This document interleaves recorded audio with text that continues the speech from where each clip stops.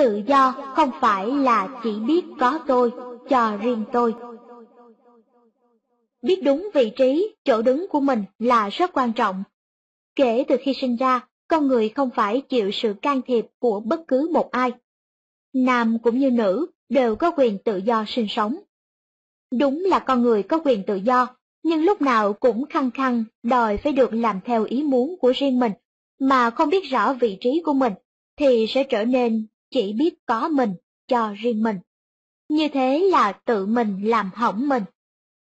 Dựa trên đạo lý mà trời đã định, vị trí của mỗi người là ở chỗ, biết trọng tình người, không làm phiền hay cản trở người khác, biết bảo vệ quyền tự do bản thân.